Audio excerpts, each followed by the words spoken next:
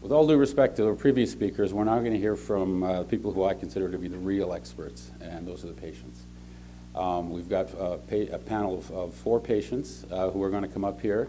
So um, I think what we'll do is, is have all four of you come up now. That would be Daryl Stuffco, um, Joanne Wicker, Kerry Huber, and Mike Cunningham. So let's give these folks a round of applause. It takes. Uh,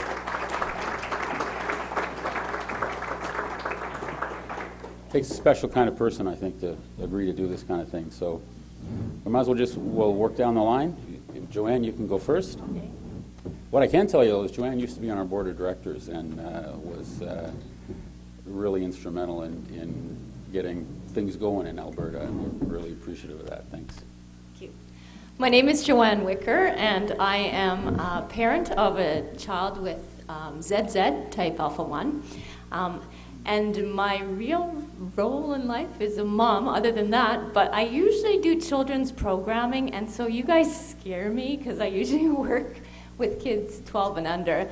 And uh, I usually would get you to stand and do some songs and jiggle around. So uh, if you feel like that, that's okay. You can you can stand up and uh, wiggle around if you need a break there for from my point of view. So go ahead. Hello there, I'm uh, Daryl Stuffco. As you can see, I take my oxygen. I'm a ZZ. Uh, have been diagnosed 12 years back. Of course, many of you who went through the system probably was misdiagnosed for quite a few years, which is seeming to be a norm from committees and education days that I've uh, been able to attend. But um, yeah, it's just uh, something you've still got to get some quality of life out of things, and augmentation therapy does help me that way. Mike Cunningham is my name. Um, uh, one of two people in my family that are both diagnosed as ZZ. Uh, I was diagnosed in 2007, but uh, I have an older sister was diagnosed many years before that, so I kind of knew it was coming uh, in some respects, and uh, she kept telling me to get uh, get tested, get tested, and I ignored her, of course, because she's my sister, and that's what I always did. Uh, eventually, it caught up to me, and the, the, symptoms started to kick in, and they kicked in pretty quick. And uh, when I ended up in hospital for a month, lying in bed, going, "Well, I probably should have got tested earlier, but never did." Um, since then, about three and a half years ago, I had a double lung transplant, and uh, things are good. Things are really good. Yeah, it uh, kind of changed my whole perspective on things. Really, yeah It's been quite an adventure. Hi, my name is Kerry Huber. Um, my son is lung affected. He's 10 years old. And so finally, we have a diagnosis compared to the um, hospital trips in and out of the hospital emerged. And um, you just got to get his asthma under control. You just got to get his asthma under control. So now we are under control with Dr. Zubabuehler. Um, it's just interesting thinking back, the reason why we were probably diagnosed um, is probably because that little genetic piece of paper back on our file that I happened to say to a genetics colleague of mine, having my third child, Brady's our second, but having our third child, um, I work in the health unit with her, and I'm a dietitian. So, what's the chances I have a lung affected child when the only thing I understand is GI issues? Um, so I did ask her, I said, Well, I don't have any um, family history of anything, but my uncle had a lung something. So thank goodness to her. Um, she connected, had me retested because my father was not a carrier 30 years ago, but he really probably was.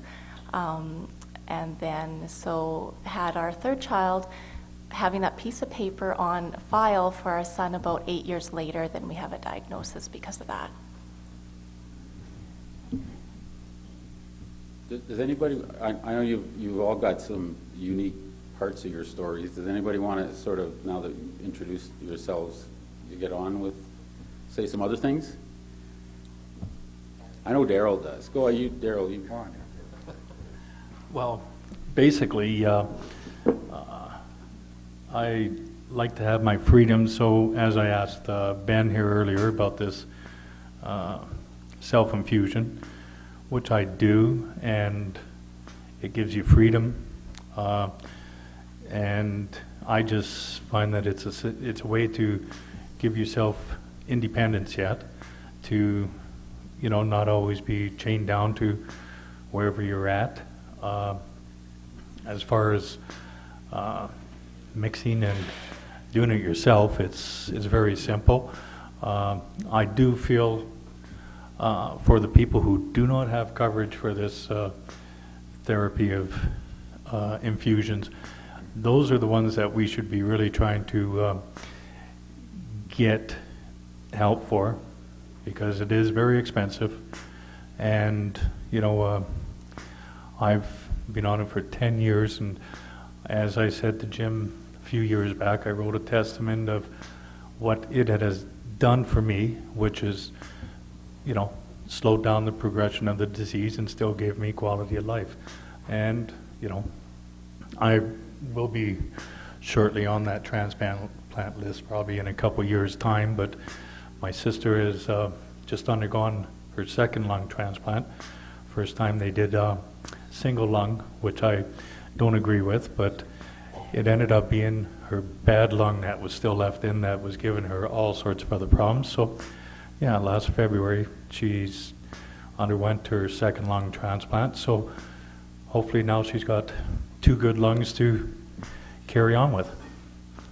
So, but I'm not ready yet. Maybe, Mike, maybe you could talk about kind of making that decision, because I know I talked to a lot of patients who, um, they agonize over it for a long time. Um, Took me, uh, uh, took me a long time to make the decision, I guess, to get on the workup and uh, and get on the list, so to speak. Uh, Even right up to the, the morning I got the call, I was still sort of backpedaling, um, which they expect apparently, because they call you back in 10 minutes, are you sure you want to opt out? Go, Okay, no, send me in. Um, There was kind of a a wrinkle in the thing, but I'd gotten the call on a, on a Monday, and they found out after the, or I suppose uh, before the operation, that I, I had contracted the uh, H1N1 influenza. Uh, a few days before, ironically, while I was waiting in line to get the vaccine, uh, it was the was the best guess is when I contracted it. So uh, there was a bit of a wrinkle I had to sort out. I suppose heavy heavy doses of Tamiflu, I understand, were uh, were done, and that that program lasted for a while before and after, and oh, it seemed to work. Okay, whatever uh, whatever it is they did, but um, I offered or offered asked to be on the list to get on the list, and of course you have to go through a workup, and even during that time, going through the workup, knowing that I'm going to be on the list, I thought, well, you know, I'll probably just deny it, but I'll go through this procedure anyway, just for the heck of it. And, and uh, yeah, sure enough, I'm, I'm kind of sure glad now, at least that uh, that I did go through that. Got on the list, got the got the call a couple months. Um, couple months later, I got really lucky. Uh, time frame. Anyway, they told me it could be a couple of years, but I, apparently the perfect the perfect lungs came up. So uh, that's was another reason that convinced them to go through this Tamiflu thing and, and get over get over the H1N1. Um, wrote a paper about it, and uh, from my perspective, finally, I'm number one because that was probably the first time they've ever done that procedure to, to do a transplant with someone who already had H1N1. So I got to be number one at something finally. Yeah. yeah. Yeah. And it's working for you. Sure is, yeah. Yeah. No complications so far. Uh, you know, keep fingers crossed. That type of thing. It's work. It's going really well. Yeah. Take the medications, do the exercise, do what they tell you, basically. And uh, yeah, it's, it's sure working good for me. Really is. Uh, about three and a half years. Uh, November 09, mid-November 09. When it happened, uh, was the perfect match, apparently. Yeah, so they say, and that probably has a lot to do with it. Yeah, yeah, uh, I understand. Pretty good. I try to exercise pretty regularly, about three times a week. Uh, walk every day, at least. Um, whatever I can, I, I, I want to get involved in. Um, keep the cardio up and the, you know, the weight training, that sort of thing. So, good. Push it a little bit. I already did it first. It got a little. Uh, something else they expect is you get a little manic after after the transplant because you wake up one day and you can breathe and like the world's just a whole different place. Uh, So I was actually getting medication to tone that manicness down. Enthusiasm. Oh, yeah. you just want to get up and run, but of course you're hooked up to these big machines and stuff, and you can't, of course. So, um, so at first I really pushed it, but I'm not sure. I guess uh, time will tell if that was a good idea to, to push the walking, how much time you can walk and how much weight you can lift, that, that type of thing. Uh, but it seems to work for me, so yeah, it's going really well. Pretty happy. Yeah. Good. Great team here at the, at the U of A hospital, so. Are you on Prolastin? No, no. uh, Were you on for that before Lungfest? No, I never was. No, I didn't meet the, uh, by the time I was officially diagnosed and my research at the time, I wouldn't have fit the criteria. I was below the, the level of criteria. Uh, At the hospital, I, I went in for a lung function test and came up with a, I think my FEV1 was about 12 percent, um, FVC was about 30, 28, sorry, about 28 percent. Yeah, so pretty, pretty bad. Yeah, yeah, it was, it was getting pretty grim there at the end. Um, That, I understand, might have been another factor that they decided to go ahead with this perfect set of lungs. Showed up, well, this might not come around for a while, and uh, it might not be there to, uh, to be able to accept them, so. So they made the decision, yeah, I'm pretty happy about it. Joanne or Kerry, did you want to say anything else before we kind of open it up to questions? Which will probably end up being a, a kind of a good discussion. Because really, there's a whole bunch, a whole other patient panel out there of experts. I'm just curious, is there any other parents in the room of children with, like, young children? Yeah, okay. Yay, okay. Just wondering. I- This is the first time that I have been able to actually meet face-to-face with anyone that is Alpha One. So thank you guys for coming. It's great.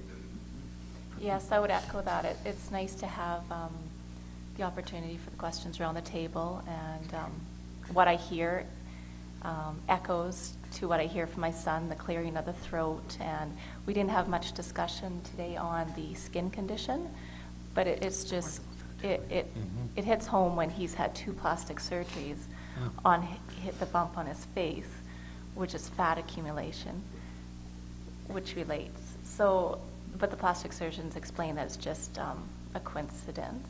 It's not related. So maybe I'll find out more about that. Um, and Jim had put me in touch with somebody from BC. They are the only other diagnosed lung affected child in Canada. So what this does, knowing about um, Brady's diagnosis being SZ, um, in the school, I can kind of make the teacher be more aware that it's not a regular cold. It's, it's beneficial to not have that cold, to build up his immune system, somewhat build up his immune system, but still um, the benefit of the hand sanitizers and things in the school. So it's nice to have that information from Jim and be in contact with those parents so you have that basis of uh, things to use on a regular day to day.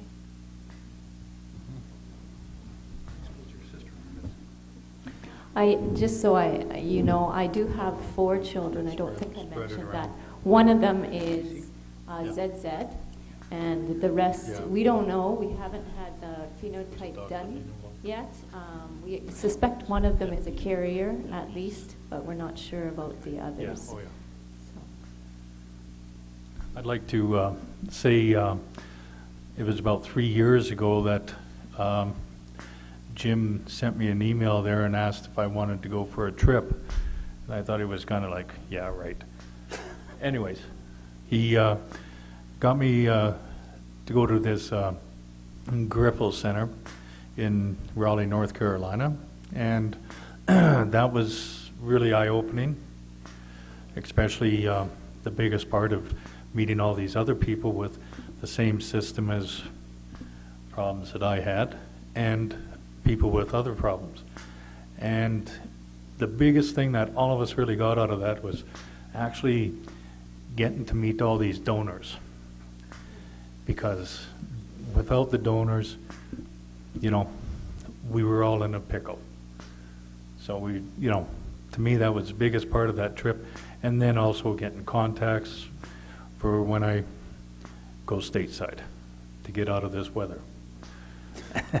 and, you know, it just, uh, what I find with these conferences now, I've been to a few of them, and every time I come out of it with something else.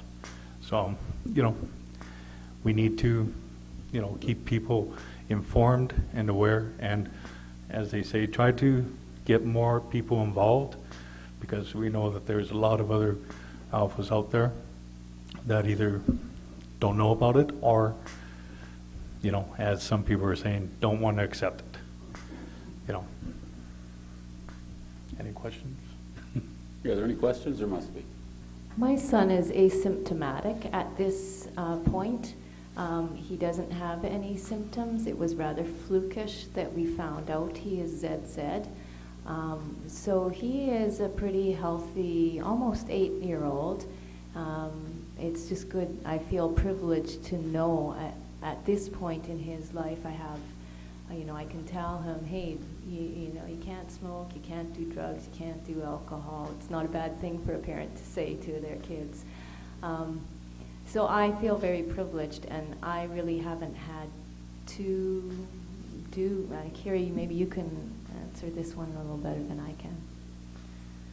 Um, I've been just to the point of just trying to understand it, and so I appreciate the questions that our physician brought forward about the preventative side of the, the therapy because um, he had mentioned that you know there is that possibility of maybe I view it as almost instead of um, an ongoing treatment, maybe during flare-ups, and so it's looking at it preventatively. So I'm going to wait and watch and see where the research is going.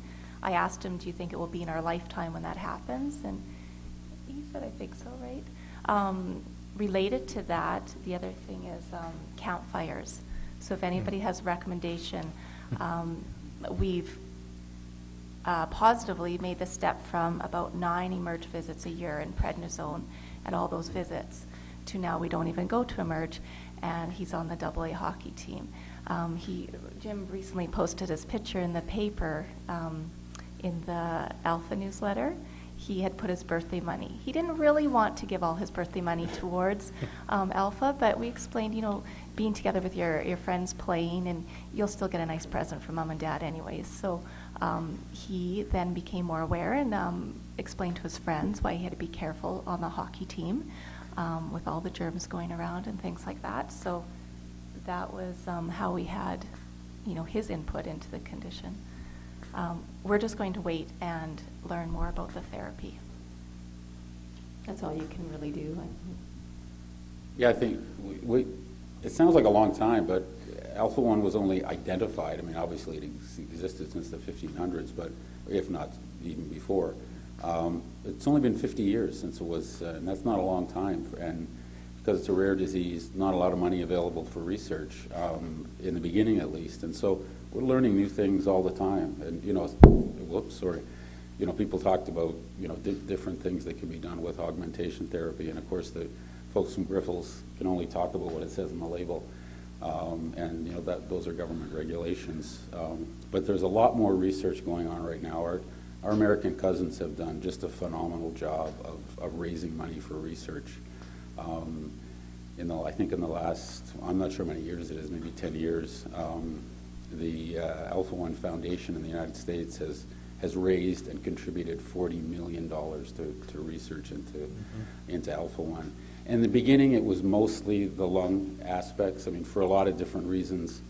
Um, a lot of people who were only liver affected, um, I mean that only as not long as well, and not, not that it's, it's less serious.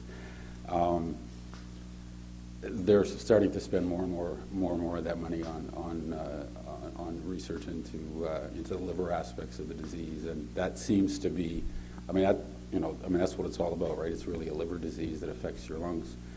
Um, and uh, um, they, a lot of that money has been has been given to Canadian researchers who, have been doing research. I mean, there's um, there's a lot of them, uh, more and more in Canada all the time, and more and more in the states as well. So, you know, we can just, you know, we don't know when, but I mean, there there really is. Um, uh, there were two two studies released just just this month at the American Thoracic Society, um, fairly significant studies on uh, on augmentation therapy and whether or not it works. I mean we're all pretty convinced that it does, but some of the some of the people who pay for drugs aren't. Um, I don't know if they're not convinced or just don't want to be convinced.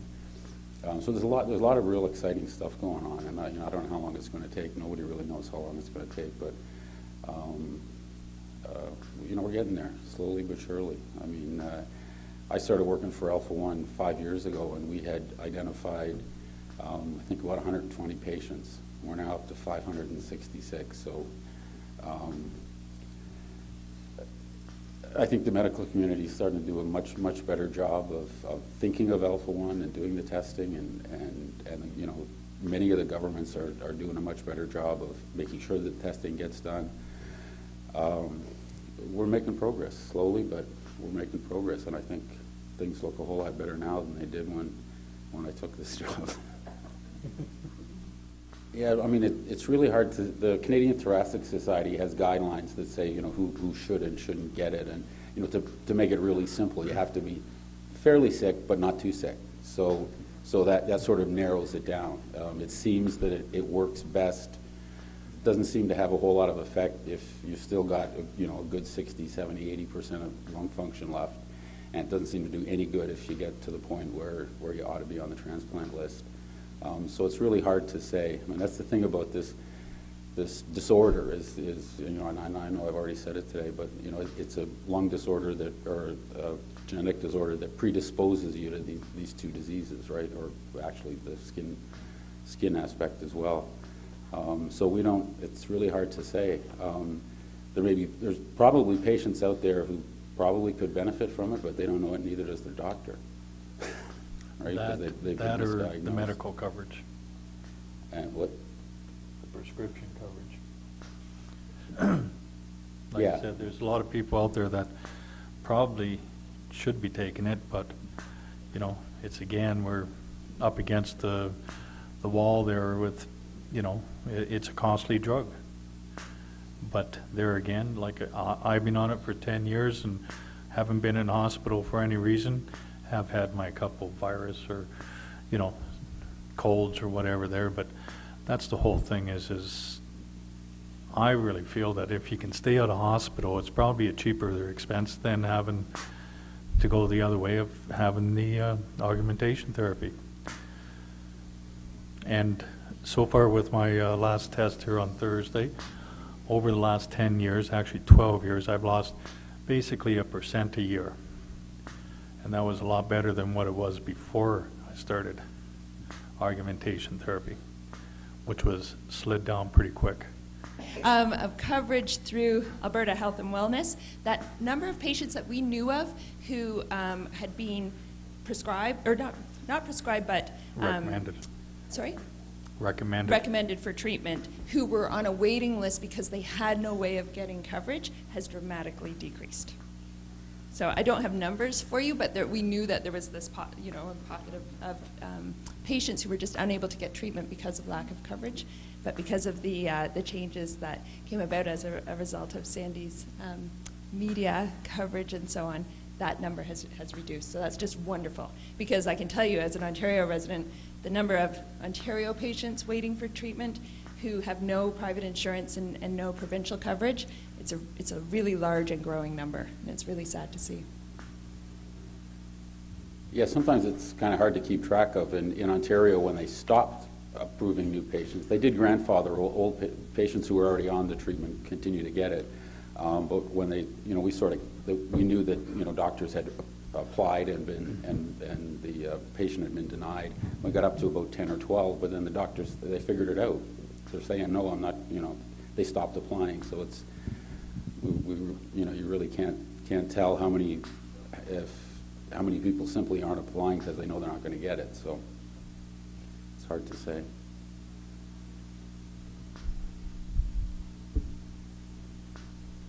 Well, uh, why don't we take our break then?